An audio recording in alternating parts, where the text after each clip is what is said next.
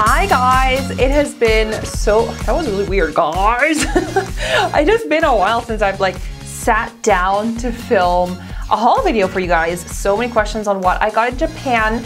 If you haven't seen it already, go and check out my first sort of vlog video from Japan because I really try to make a video that's really interesting and that's a little bit more higher production value. I tried to make this vlog a little bit more interesting than just a regular like here's me and my camera, you know, like follow me around kind of vlog. So I would really appreciate it if you went to go and check it out. I just wanted to try out something new and um, I wanted to get your feedback on if you like those kind of videos. Linked also in the info bar, so if you haven't checked it out, go and check it out. Um, I bought this in Kyoto and I was in this store that had nothing but fans. That's like all they sold there and I got this one.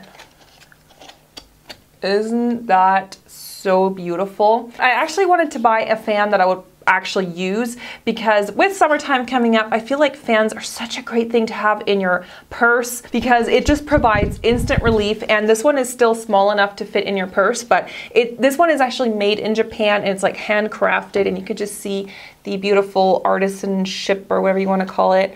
Um, it's just like a beautiful fan with a nice print. I love this color this blue, and then the back is actually a nice color as well. And it's kind of like shimmery. I don't know if you can see that.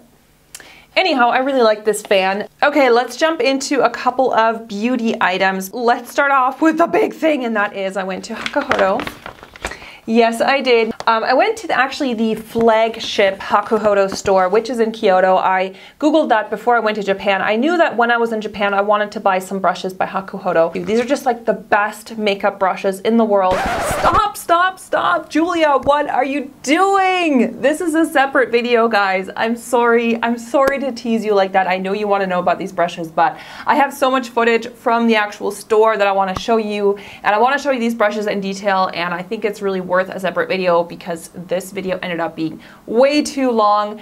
So I'm going to have the Hakuhodo brush haul as a separate video. I'm going to go into detail and I think that's going to be a much better option. So let's get back to the rest of the haul. So I went into a, what is it called? Matsumoto Kiyoshi, which is basically like the Japanese CVS or DM drugstore. I know this is going to be controversial, but I just wasn't that into the Japanese makeup that they release in Japan.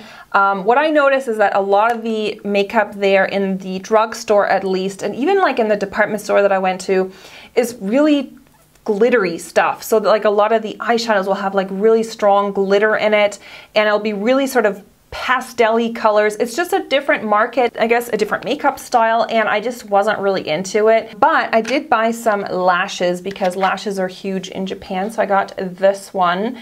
Now these are called Diamond Lash, and there's one, two, three, four, five pairs in here. And they look really cute. They sort of look anime, but they also look really nice and fluttery, and I can't wait to try these out. Then I got the Spider Liner by Kate. Now Kate is another really popular brand and it is basically a liquid eyeliner, super sharp liner, and they are really big on liquid liner and getting that like perfect wing. This brush is like a proper brush. I hate felt tip liners, I can't stand them. So this one has like a proper brush and the liner looked nice, like it looked easy to control. So there's that liner. And the other thing that I really wanted to stock up on in the uh, drugstore there is sheet masks because Sheet masks are also huge in Asia. Pure Smile Royal Jelly Essence Mask. I don't know, it looks like honeycomb or something. This one was, I think, only like $1. And this one, like, I don't even know what it is. Like, I know it's a sheet mask, and I think there's 10 in here. I have no idea what the effect is. Um, yeah, it says 10 here, so I'm thinking there's 10 masks in here because this is like a big package. And then I got this one. This one is called Lulu Lun 7 Days and it looks like that. And again, there's multiple sheet masks in here. I can't read anything, but this was a brand that they had a few different ones in different colors. I'm guessing they all had different effects. Since I couldn't read it, I just picked purple. And then I got this one, the Pure Smile Milk Essence. This is just a single one. I think this was only like one. And this is this is the funniest one. It's called Will You Be a Cat? Also by Pure Smile. And they had all these hilarious sheet masks that have like prints on them. So when you put it on, you look like a, an Egyptian warrior or you look like a cat or you look like a dog and I just thought that was hilarious. Can you see that cat with the holding like a tuna fish or something in its mouth. So when you put this on, um, yeah, it even it's so cute. Look, it has like the picture of the kitty cat putting on the mask, and then you're gonna have like a cat print on your face. So when I put this on, I will be sure to post a picture on Snapchat. So follow me on Snapchat if you want to see um, when I use that. And I did go into a high-end department store where they have makeup as well, and I think it was called Seibu. And I wanted to get some Shu Uemura I have owned Shu Uemura before, so I got this uh, foundation by Shu Uemura, apparently this is new. It's called the Light Bulb Fluid Foundation and Sponge. I don't remember how much it was. I think it was like 40 bucks or something like that. So it's a high-end foundation.